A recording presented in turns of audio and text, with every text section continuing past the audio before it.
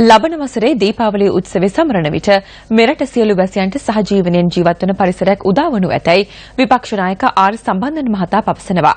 ඊයේ අරලියගහ මන්දිරයේ පැවති දීපාවලි උත්සවයේදී ඔහු මේ බව ප්‍රකාශ කළා. அடுத்த வருடம் நாங்கள் மீண்டும் ලබන වසරේ ඔබ දීපාවලි උත්සවයට සහභාගී වන විට මෙවර දීපාවලි උත්සවයට වඩා සතුට දනවන පරිසරයක් තුළ එම උත්සවය පැවැත්වෙනවා ඇති. ඒ නිසා දීපාවලි උත්සවයට අප සහභාගි වී සිටිනවා. මේ දක්වා අප රට අඳුරේ තිබුණා. 2015 ජනවාරි වෙනසක් ඇති වුණා. රට අඳුරෙන් එළියට පැමිණියා. ආණ්ඩුක්‍රම ව්‍යවස්ථාවක් සැකසීම පිළිබඳව අප විශ්වාසය තබා තිබෙනවා. ඒ හරහා ශ්‍රී ලාංකිකයන් වශයෙන් සියලු දෙනා ගැඹීරව කතා කළ හැකි තත්වයක් මෙරට උදා විය යුතුයි.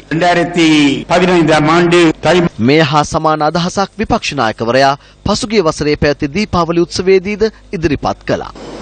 ஜனாதிபதியுடைய தலைமையின் கீழ் பிரதமந்திரியுடைய வழிநடத்தலின் கீழ் අලුත් ආණ්ඩුවක් යටතේ ජනාධිපති අගමැතිතුමාගේ මඟ පෙන්වීම යටතේ මෙරට අලුත් තත්වයක් සියලුම ජනතාවට එක්සත්ව සහජීවනයෙන් සාමයෙන් ජීවත් විය හැකි පරිසරයක් ඇති වේ කියා අප විශ්වාස කරනවා. ඒ ගමන අප ආරම්භ කළා. මේ ප්‍රතික්ෂේප කරන්න කාටවත් බෑ. ලබන වසරේ දීපාවලිය සමරන අවස්ථාවේ ඒ ගමනට ජයග්‍රහණ ලැබුණ ඇතැයි ඔබ සියලු දෙනා වෙනුවෙන් මම බලාපොරොත්තු වෙනවා. අප සමගයේ ජීවිතවල වෙනසක් ඇති වී ඒ හරහා සාමයේත් සහජීවනයේත් මෙරට ජීවත් වන්නට අවස්ථාව උදා වේවායි පතමින් සමුගන්නවා.